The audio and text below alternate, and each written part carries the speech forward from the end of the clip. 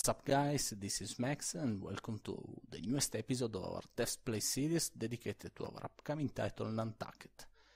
In today's episode we are going to keep sailing and take a look to the dangers at sea. So what happens when you are going to run out of one of your vital resources. I hope you enjoyed. So we are sailing with our ship in open waters and this little red notification appears.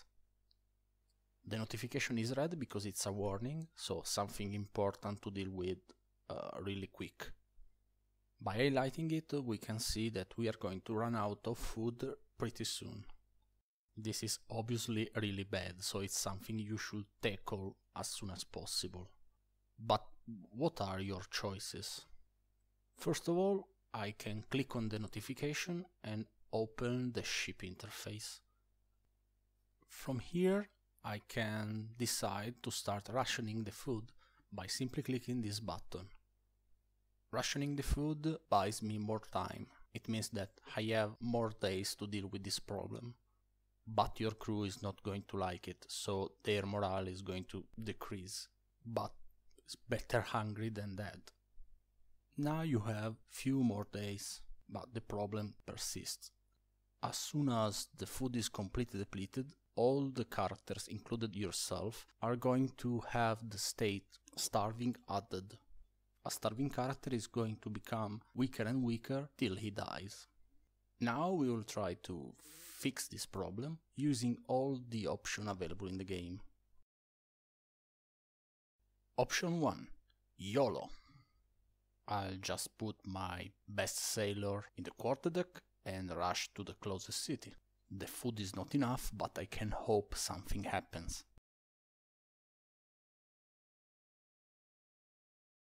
Okay, the food is gone and I have an event to deal with. We can lower a whaleboat and try to fish something. We don't have blubber, so we cannot eat it. Also, if eating blubber can make someone sick, we can pray the Lord for a miracle or we can take extreme measures such as killing one of the crew member and hit it. Clearly the captain is out of the lottery. It's the safest solution, but uh, clearly people don't like cannibal captains and in the long run could be worse. But in this case I would say is the best solution. So so long and thank you for all the meat. Now we have food and we can reach the city. Second option, we could hunt whales. I could select this filter showing me all the whaling areas that I've already discovered and if one of them is close to my ship or at least closer to my ship than the city I'm trying to reach, I could go there and hunt whales for food and also blubbers to sell.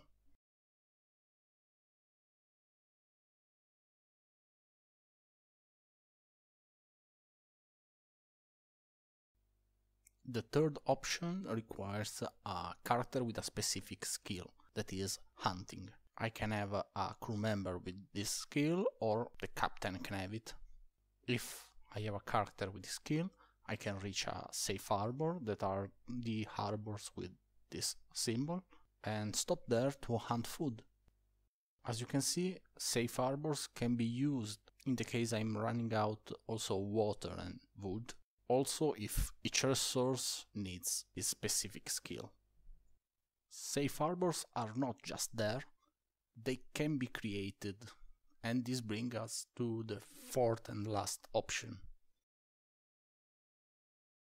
The super safe captain always brings with him a character with a safe docking skill and enough wood to create a safe harbor whenever he needs. In this case, you have simply to reach the closest coast and create a safe harbor. Once created, a safe harbor stays there, so it can be used every time it's needed. During your adventures, could be really useful to populate the map with safe docks you can use in situations like this.